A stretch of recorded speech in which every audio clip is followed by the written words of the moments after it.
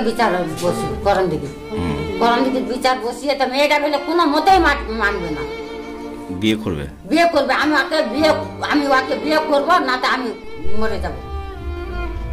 সালিশি নিদানে আত্মঘাতী প্রেমিকা। সালিশি সবার নিদান মেনে নিতে না পেরে গলায় ফাঁস লাগিয়ে আত্মঘাতী হয়েছেন তরুণী বলে দাবি পরিবারের। উত্তর দিনাজপুর জেলার করণডিকি থানার অন্তর্গত লাহুতারা দু নং গ্রাম পঞ্চায়েতের লাহুতারা ঝাড়গ্রামের ঘটনা। রেজিনা খাতুন নামে ওই তরুণীর সঙ্গে ডালখোলার যুবক হোসেন ইয়াসদিনের সঙ্গে প্রেমের সম্পর্ক তৈরি হয়। প্রেমের সম্পর্ক নিয়ে গ্রামে সালিশি সভা বসে। প্রেমিক হোসেন ইয়াসদিন সম্পর্ক, বিয়ের প্রস্তাব প্রত্যাখ্যান করেন। তরুণীকে টাকা দিয়ে মিটমাট করার কথা বলা হয়। তরুণী রাজি হয়নি। বাড়ি ফিরে বাড়ির পাশে একটি গাছে গলায় ফাঁস লাগিয়ে মারা যায়। গ্রামের মাতব্বররা এক লক্ষ সত্তর হাজার টাকায় মিটমাট করানোর চেষ্টা করে। রেজিনা খাতুনের মৃত্যুর খবর পেয়ে ভিন রাজ্য থেকে বাড়ি ফিরে এসে তার ভাই করণডিকি থানায় লিখিত অভিযোগ করেন গ্রামের মাতব্বরদের নামে। সালিশি সভায় উপস্থিত ছিলেন তৃণমূল কংগ্রেস পঞ্চায়েত সদস্য আবুল হোসেন ও স্থানীয় নেতারা। গলায় ফাঁস লাগিয়ে মৃত্যুকে ধামাচাপা দিতে চাপ সৃষ্টি করেন সালিশি সভার মাতব্বররা। এমনই অভিযোগ করেন মৃত তরুণীর পরিবারের লোকজন।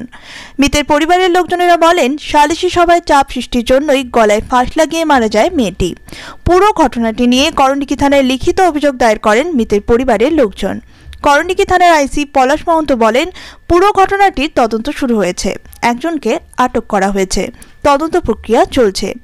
মৃত তরুণীর পরিবার থানায় অভিযোগ করেন এবং অভিযুক্তদের শাস্তির দাবি করেন। বিচার বসি করণ দিকে দিকে বিচার বসিয়ে তো মেয়েটা বলে কোনো মতেই মানবে না। বিয়ে করবে? বিয়ে করবে। আমি ওকে বিয়ে আমি ওকে বিয়ে করব না তো আমি মরে যাব। আমি ওকে বিয়ে করব না তো আমি মরে যাব। তারপরে? তোমরা বিচার মানো না আমি বিয়ে ওকে বিয়ে করব না তো আমরা এখানে মরে যাব। আপনার ভাস্তি বলছে? হ্যাঁ। তারপরে? তো ওই পার্টির লোক খুব ই করছে। ভয় দেখাচ্ছে। তার বাচ্চা না এরকম করে বিচার কি, কেমন করে, কি করি, না করি, চলো শিল্প ঘর তো সে তো ফের যাই ওই ঘরে শুতেই রইল। তো আমার একটা বোন বাটা আছে ওয়াই ফের ধরে নিয়ে আনিল। সবাইকে ভাত খিলালে এক মুঠি করে। ভাত টাত খিলাই করছে "দে- দে- দিদি, তুই কিছু করিস না। তো আমরা বিয়া দিব দাদা গোলা বলছে যে দু হাজার বিলাবো বোনকে। আচ্ছা। তুই তুই কোনো মতেই চিন্তা করিস না তুই একটুকু কোনো ভয় করিস না। এখানে না হলে তোকে পাঞ্জাবে বিয়ে দিব। তারপরে? যত টাকা লাগুক। তারপরে? তখন আচ্ছা ঠিক আছে মেয়েটা বলছে হ্যাঁ ঠিক আছে কিছু করব না। ভাত টাত খেলে খাই দায় যাইস না মেয়ে যাস না ঘরে শুতে রে। বইনোয়ার কপাটটা লাগাই দিলে। তখন যে তুই কপাটটা লাগাই দিলে আমি পেশাব পায়খানায় যাব না কোথায় আমার মা আছে আমার মা ডাকবে আমি কপাট খুলে দিই মা ডাকলো যে মাই মাই একটু কপাটটা খুলে দে বাইরে যাব। তো ওই বড় বেটিটা কপাটটা খুলে এসে এই ঘরে শুতলো। আপনার নাম? নাম হালিমা ব্যবহার হ্যাঁ? বেবা যে কি ঘটনা ঘটছিল আপনাদের ঘটনা ঘটেল এটা যে ছেলেটা আমার ঘর তো সে বিবাহ করার কারণে। তো বিবাহ শাদি ওয়া করলেনি। বিচার করলি।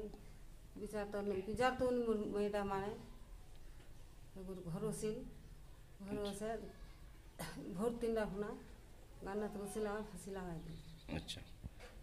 বিচার কোথায় বসছিল? বিচার থানাতে হই।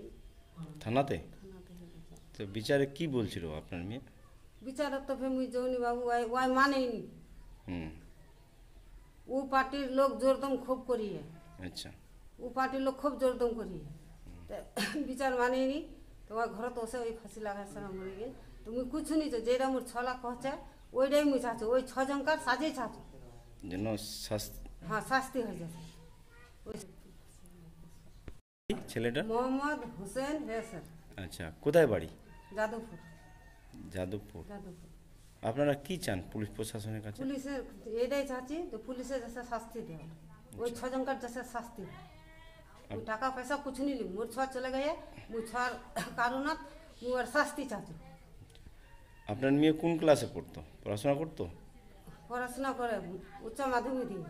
কলেজে ভর্তি হবার কাগজপত্র সব ঠিকঠাক করে আচ্ছা তারপরে এই তারপরে এই ঘটনা ঘটে আপনারা চান আমার বাড়ি লাহতারা উত্তর বর্ষা আপনারা চান যে যারা এই ঘটনায় জড়িত এবং আমার মেয়ে মারা আপনার মেয়ে মারা গেছে তার জন্য কি চাচ্ছেন পুলিশের কাছে? পুলিশের কাছে আমি চাঁদি সাজাই চাচ্ছি। ওর সাজা হয়ে গেছে। বলছি আপনার নাম? আব্দুল মালিক। বাড়ি কোথায়? বাড়ি এখানেই।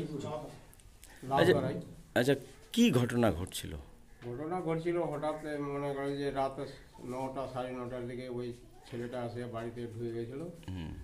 তো আমরা কেউ হয়তো জানি না আগেই ঢুকে গেছে। তো তারপর আমাদের লোক আসলো তো ওকে দেখতে পেল তো দেখতে পেলে ওকে বাইর করল তো ও বলছে আমি বলে এখানেই এসছি আমাকে আসতে বলেছিল মেয়েটা। তো ওরা ও বলল যে তোমাকে যে আসতে বললে তো তুমি এত দূর থেকে কেন আসলে? তোমার বাড়ি তো হলো যাদবপুর। তুমি ওখান থেকে এখানে কি করতে এলে? ও যে মেয়েটা ডেকেছিল বলে আমি চলে আসছিলাম। তারপর ওকে বললাম যে তুমি যে আসলে ওর ভিতরে ই যে প্রবেশ যে করলে তো ওকে তুমি বিবাহ করবে তো ও একটু অস্বীকার করে। অস্বীকার করে তখন আমরা লোকজনকে সবাই ডেকে বললাম যে আপনারা এটার বিচার করে দেখেন যে এটা সত্যি কি মিথ্যা ও কেন ই রাজি হচ্ছে না? তো ওরাও তো দেখল ই করে যে ওটা রাজি হচ্ছে না। হচ্ছে না হওয়ার পরে তখন একদিন এখানে রাখলাম রাখার পর ফের আবার বসলাম লোক নিয়ে। তাও ছেলেটা রাজি হচ্ছে না। তারপরে প্রশাসনের কাছে ওকে নিয়ে চলে গেল ওরা ওখান থেকে এসে। আচ্ছা। ওখান থেকে নিয়ে যাওয়ার পরে ওখানে একটু দেখলাম বিচারে গেলাম তো ওরা সবাই বলছে যে বলে বিচার ওই করে নিতে হবে। বিচার না করে দিলে কালকে ওরা রাখবে না ওই আসামিটাকে চালান করে দেবে। তখন বাধ্যমূলক আমরা একটু বিচারে বসলাম তো বিচারে ফাইসালা হলো যে এক লাখ সত্তর হাজার টাকা দিবে আর মেয়েটা রাজি হচ্ছে না কোনো মতে। মেয়েটা বলছে যে আমি না এক আমাকে বিবাহ করুক না হলে ওর সাথে আমাকে চালান করে দিক। হুম। তো মেয়ে ওরা কিন্তু ওই যেগুলো অধিকার কি নাম? মজিবুর? হ্যাঁ মুজিবুর। হুম। মকবুল মকবুল। মকবুল। মকবুল। নামে করেছেন? ছজন। বাড়ি কোথায় আপনাদের ওনাদের বাড়ি হলো যাদবপুর। আচ্ছা এখানে বসছিলেন। বসার পরে কারা কারা ছিল এখানকার? বিচারে ছিল আমাদের গ্রামের ছিল দুই চারজন ছিল। আমাদের গ্রামের অঞ্চল প্রেসিডেন্ট ছিল মফিজুদ্দিন মেম্বার সাহেব ছিল আবুল হোসেন তারপরে আমার পেশা ছিল আমার একটা দাদা ছিল তারপরে অধিকার ছিল অধিকার ছিল হাবিল রাষ্ট্রপতি ও নেতাগিরি থাকে ও বিচার মধ্যে যায় ও ছিল। এইগুলো ঘটনা ঘটার পরে কেন বিচারটা করল আবার? না এগুলো ঘটনা তো আগেই ঘটে গেছিল ঘটে গেছিল। ওরা বিচার করেছিল। ছিলাম না আমি তো বাইরে ছিলাম বিচারে তো ওরাই ছিল। বোন যখন বলছিল যে বিচারটা করো না না করাই ঠিক হতো। তাও ওরা করে চলে আসছে। পুলিশের কাছে আপনারা কি চান? পুলিশের কাছে আমরা তো ছেলের সাজা চাইছি যার কারণে আমার বোন মারা গেল ওর জন্য শাস্তি হোক ও জন্য সাজা পায়। আর পুলিশের কাছে এটাই হবে। কমতি। আজকে নয় তারিখ হয়ে যাচ্ছে ছয় দিন হয়ে যাচ্ছে পুলিশ এখনও কি করছে না করছে কোনো খবর মানে এদেরকে যেন অ্যারেস্ট করে? হ্যাঁ এদেরকে জন্য অ্যারেস্ট করুক। আর জন্য আমার বোন যত চলে গেলে ওর তো কোনো কথা বলে লাভ নাই তো ওদের জন্য সাজা হোক। মেন আমার ধসর ইয়াস জানি ওর জন্য সাজা হয়। আমার বোন মারা গেল। যাদবপুর। যাদবপুর? হ্যাঁ। তারপরে এটা এ তো আমার বোন পড়াশোনা করতো। হ্যাঁ এইচএসে পড়াশোনা করতো আবার আগে থেকে ভর্তি করতাম। আর গালে একটা অসুখ ছিল, টিউমারের মতন ছিল, দিয়ে ওটাকে অপারেশন করলাম।